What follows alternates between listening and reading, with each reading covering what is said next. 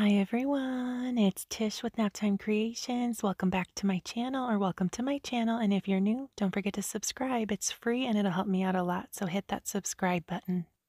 Today we're going to be making a resin flower coaster. So let's jump in and get started.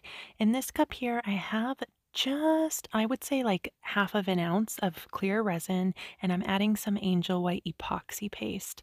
And when I do the angel white, what I do is I take my stir stick, stir up the product inside the container, and then scrape the excess off. And I only use the tiny bit that's left over on my stir stick.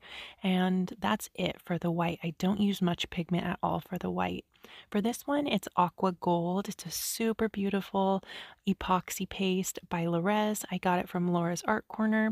Same thing, this cup has just about a half ounce of resin, but I did add more of this to um, this cup. I added about a pea size amount.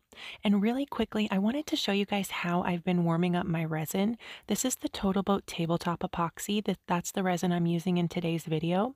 What I did was just got two condiment bottles, labeled them, and then put them in this little crock pot on high for about 15 minutes before I pour, and that warms up the resin and it's going to reduce your bubbles dramatically. You're not going to have hardly any bubbles when you mix up your resin. So I recommend doing that, um, especially now since it's getting colder. You can get the little crock pot off Amazon for like 12 bucks. I'll link it down below.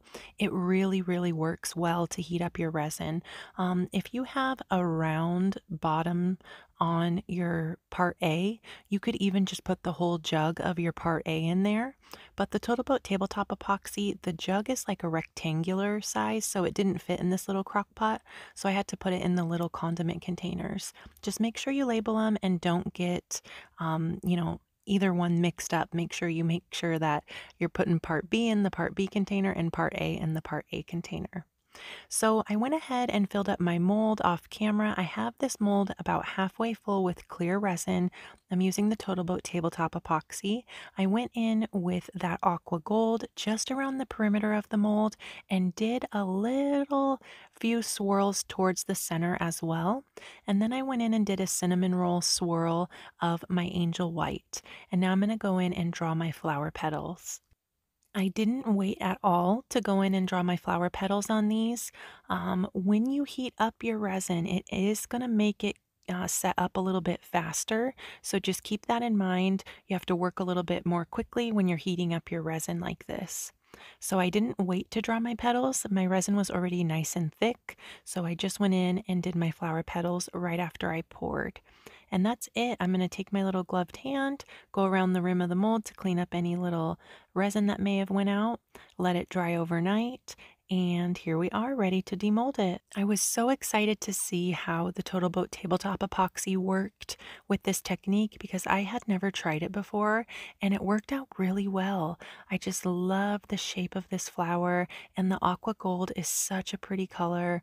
Um, I got the gold, the aqua gold, the angel white, and the bright gold crushed glass bits that I used in the center, all from Laura's Art Corner. I'll link them down below along with my coupon code if you guys want to check them out. But I just wanted to upload this video really quickly to show you guys a good way to warm up your resin now that it's getting really cold out. And also how well the Total Boat tabletop epoxy works for the flower coasters.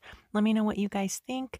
Thanks so much for watching and don't forget to subscribe to my channel if you're not already and go check out a few more of my other videos. That would really help me out a lot. I hope you guys are all doing fantastic and I will see you soon for another video. Bye guys.